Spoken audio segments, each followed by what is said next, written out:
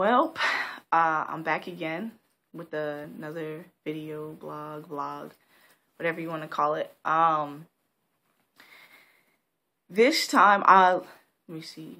Last time, um, last time I gave my testimony, um, or no, no, I I talked about um about love uh, from a different aspect, but um, you know, my testimony it wasn't it wasn't hard to give. You know, there you know there's some things that you know are, are difficult from your past. Um, but I would say uh, because the Lord had just really done a work and just really delivered me from a lot of um, things in my childhood and so on and so forth, it wasn't as hard to talk about. Uh, so I am going to start off this video saying that what I'm going to get into um, is difficult to talk about um, for me, especially um, because vulnerability um, is just not something that I do well. I'm pretty transparent as as as far as you, you know what goes on, um, or what has gone on in my life. But um, I think transparency and vulnerability, although they go in hand in hand, are kind of a little a little different. Um, so just throwing that throwing that out there. Um, the title of this is going to be you know really simple. Um, it's called guard your heart. Uh, matters of the heart are so serious. Um, so that's why I'm just gonna keep it plain. Guard your heart. Um, and plenty of people have different ideas of what it means to guard your heart, of what that looks like, and I think that's fine. Like I don't think there's this one set way um, to guard your heart, and that's it. Like you must follow these steps to guard your heart. Um, however, it is important to guard your heart, and um, up until I would say middle of this year, I didn't realize just how important it was um, to guard your heart. And uh, that's why I'm making this video. Actually, I believe the Lord has placed it on my heart to share. And I pray that it blesses some young ladies, even some young men, um, you know, by watching this. Um, and that my my testimony, my sufferings, so to speak, um, will be an example um, so that others don't have to follow in my footsteps. Now, growing up, um, if you watch my testimony, it was just me and my mom. Um, you know, I had uncles and, and so on and so forth, but uh, nobody was saved. Um, I never had um, a picture of what a biblical man looked like or what biblical courtship, marriage, none of that, like what that looked like. Um, I had no idea. So when I got saved, I knew that I had to be with a godly man. Um, but that's it. That's all I knew. Um, and I assumed that because, you know, men were Christian that um that that was good, you know, that they were going to treat me right, that they were going to, you know, act right, um that they were going to be godly and biblical and um I soon found out that that wasn't the case. Um so uh those that are, you know, close to me or, you know, or or know me um personally uh, they've heard, heard a little bit about this or they'll know who I'm speaking of.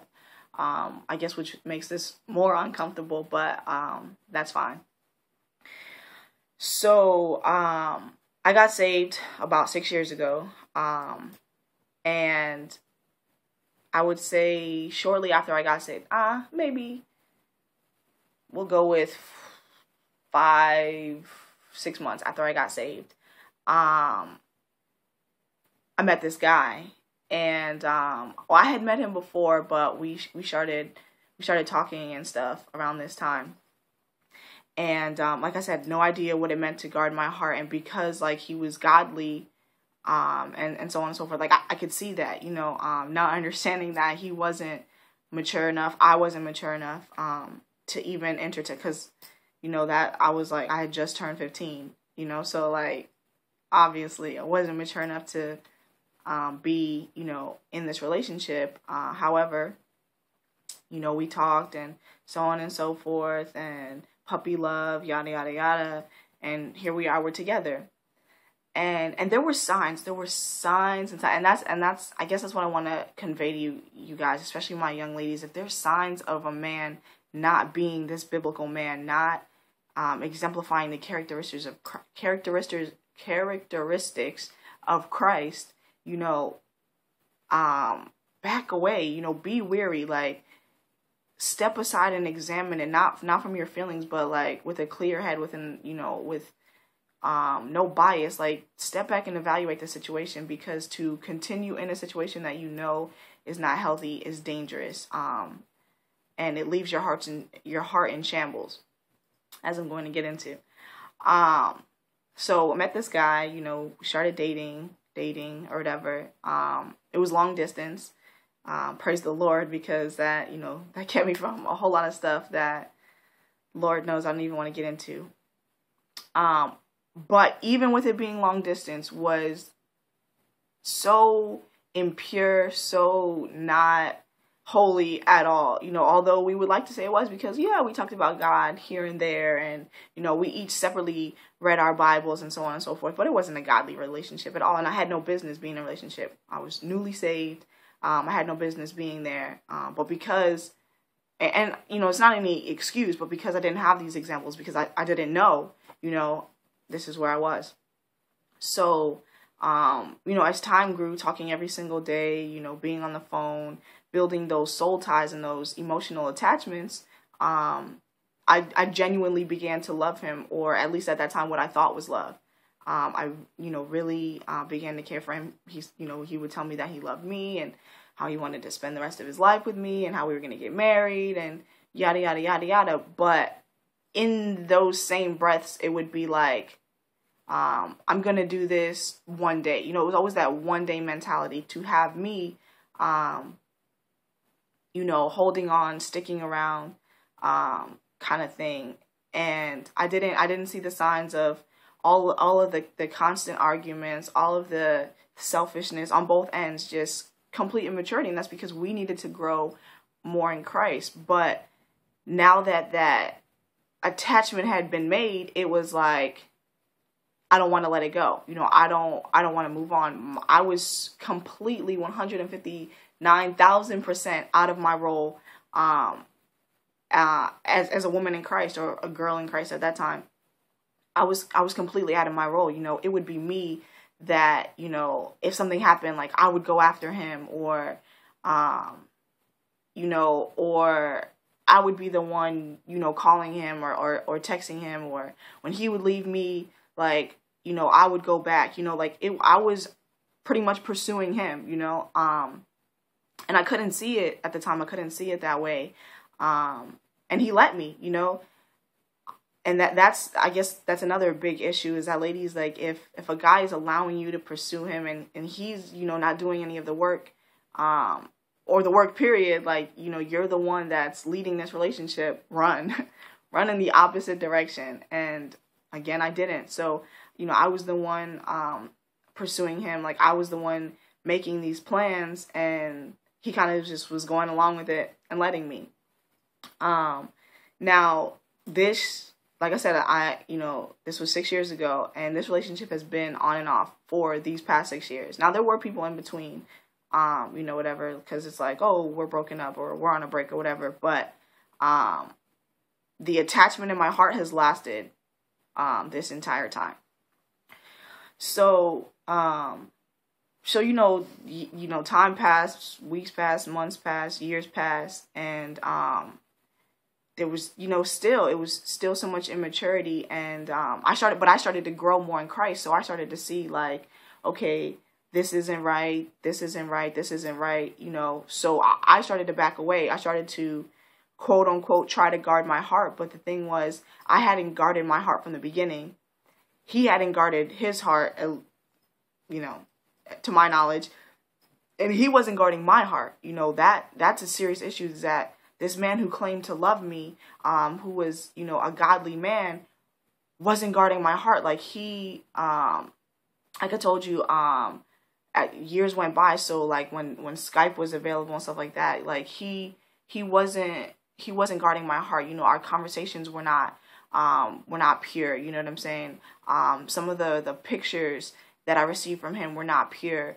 Um, you know, him just simply being on Skype with his shirt off, you know, things like that that okay aren't huge played a big part in my heart.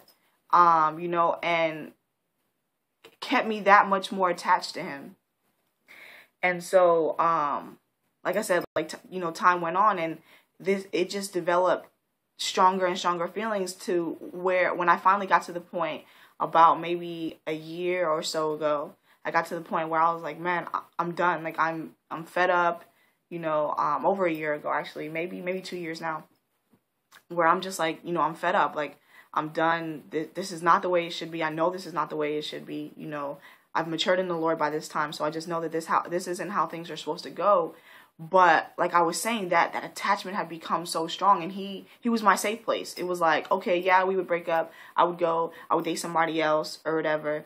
But I always knew I had him to run back to. Like he was he was that safe place for me. Like he was that comfort zone, and just I I was I was comfortable there. Like I you know I knew um, I could always go and get that emotional high that I needed, or you know, I could have him tell me, "Baby, I love you," and so on and so forth. Like I could go and get that from him, um, and that's what I did. You know, uh, it was there, and I went, and I would go and I would get that from him, um, not realizing just how dangerous that was and how much that you know would hinder any other relationship that I got into or wanted to get into. That would hinder um, my marriage, like all of these things, I, I just wasn't even thinking about how I'm going to be attached to this man and then claim to give my whole heart to my husband, like, or even give my whole heart to Christ, like, to to have this man as like almost an idol in my life, uh, because you know that's that's how much I wanted, um, that's how much I wanted him, that's how much I wanted that, and although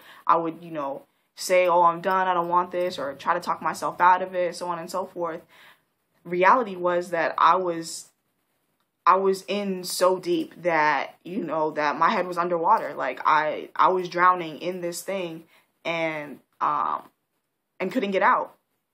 And um so again, you know, that persisted and then you know, we would make plans um to get married and so on and so forth and you know, my hopes would get up and and then something would happen, you know, either I would get fed up with how things were going and I would end it or, you know, um, he would come with the the most cliche Christian thing is like, you know, I think we should focus more on God and, you know, the Lord's timing this and this and that, which a hundred percent, yes, we do need to um, wait on the Lord's timing.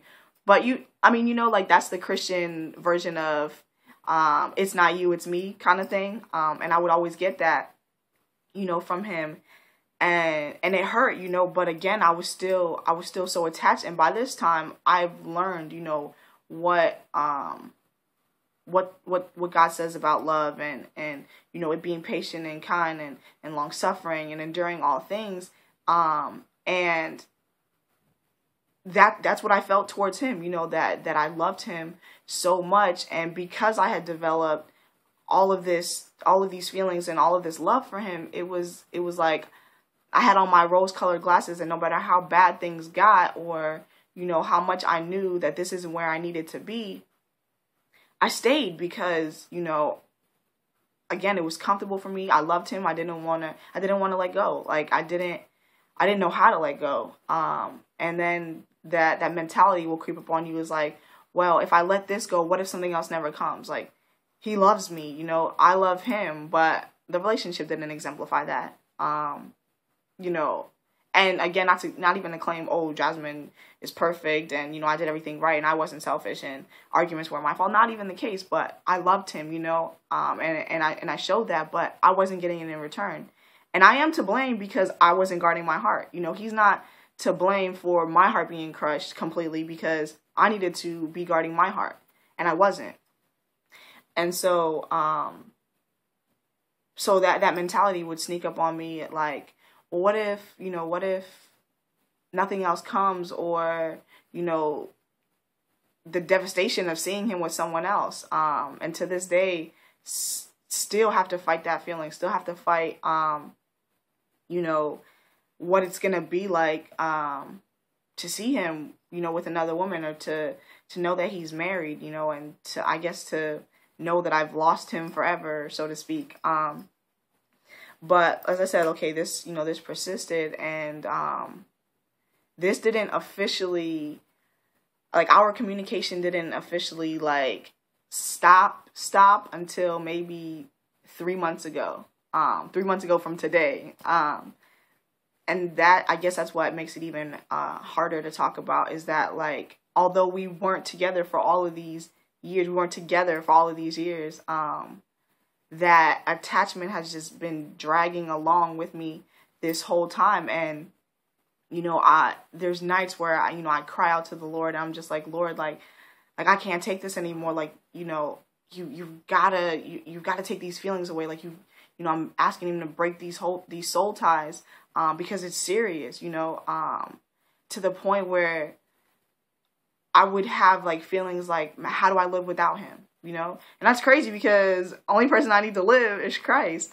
But again, he had become my idol, and we I had become so attached, and I'm just like, how do I live without this man? Like, you know, I just love him so much, and um, and, and it became scary to me because the thing is, I would, you know, I would pray and I'd be like, all right, Lord, like, you know, like speak to me, like, you know, tell me if I need to leave this. This is not who you had for me, and I can't even count the the the times that the Lord has told me no and has shown me why and has given me, um, you know, reasons why and just made it so perfectly clear. But because I wanted this so bad, um, and because I was so attached, I kept holding on. You know, like I kept communication. I, you know, and that whole just friends thing or we're just cool or you know it wasn't that you know because my heart was still somewhere else. It was still wanting to be um, with this man. And so um i you know to this day like i still have to i still have to you know i still have to pray for the lord to to to completely heal my heart and to completely deliver me. Um, i know now sitting here um, in front of you. And I, I think the hardest part about this is knowing that he might watch this. Um, but I know now sitting here uh, in front of you that that's not that's not where the Lord has me. Um, that's that's not where I'm supposed to be. Um, according to what he you know according to what he's revealed to me um, right here right now in this time I believe it's, you know, period, that we're just not supposed to be together. But, right, I can say for certain right here, right now, in this time, in this season, that's not who the Lord has for me. Um, but again, because it was, because I, of the attachment that is so strong, you know, it, it's hard. And some days are easier than others. Um, most days are pretty hard, you know. Um, I'm cool, I'm good until I hear his name or until I'm reminded of him or, you know, until I see something maybe on a social network or something. Um, but it's hard, you know. It's it's it's a daily battle, and um, and to pray against it. And all of this started because I didn't guard my heart because I didn't um have that that that that protection up um with the word of God, like knowing um, just knowing my worth, you know, knowing what the what the Lord um, had for me, what He wanted for me, the best for me. Like I didn't know that, and I didn't understand that, and so I gave a man keys to my heart and a place to my heart that only Christ and my husband should reside.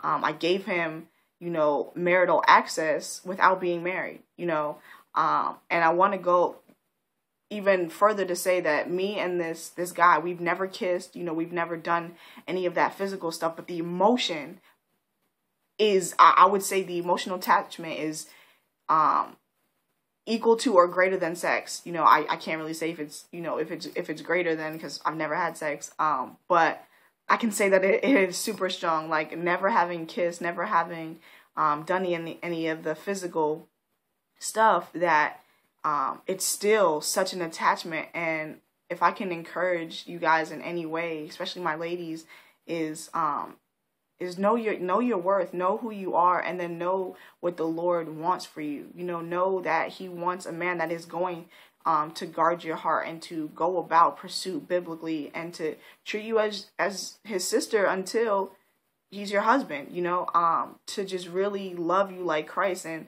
not impose himself on you, not um cause you to stumble, not go through um not go through all of these things, you know. Um and and my you know, my fellas, I guess my encouragement to you would be um don't be that guy. Don't be that guy stringing along um you know, a girl's heart and you know, whispering sweet nothings in her ear, you know, and telling her, you know, all of these things all the time that are going to build up these emotions in her and have her attached to you when um one you probably don't, you don't probably don't plan on marrying her. And if you do plan on marrying her you're not married to her yet.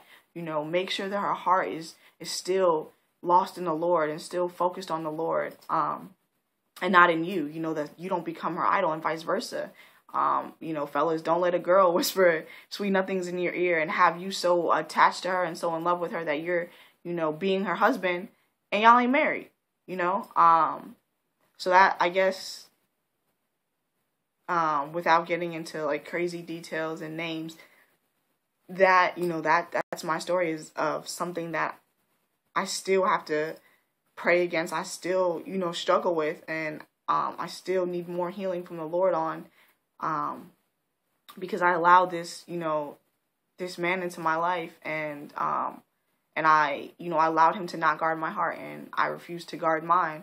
And this is in no way, you know, knocking on his character or him being a man of God because he is. He's a great man of God. You know, um, one of the most humble men I know. You know, uh, one of the most kind-hearted men I know.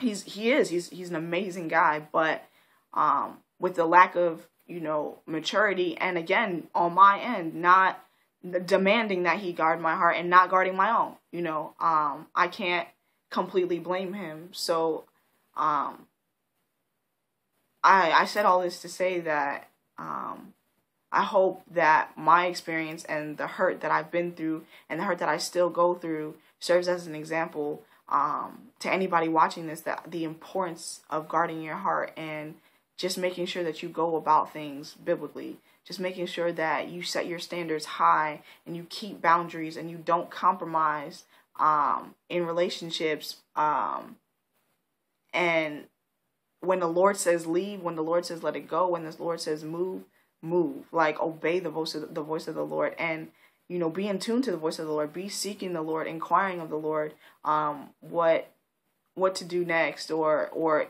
you know before each step of of any relationship just make sure you're at the feet of the lord so you know that if he's like this is not it yet you know whatever the case may be is like you're interested in somebody and the lord says no then please don't say well you know i i feel like it or i like him or i love him or go run leave like because i'm telling you disobedience um costs. Disobedience to the lord costs you and it's cost me greatly um, and I don't want to see that for any of my brothers and sisters in Christ.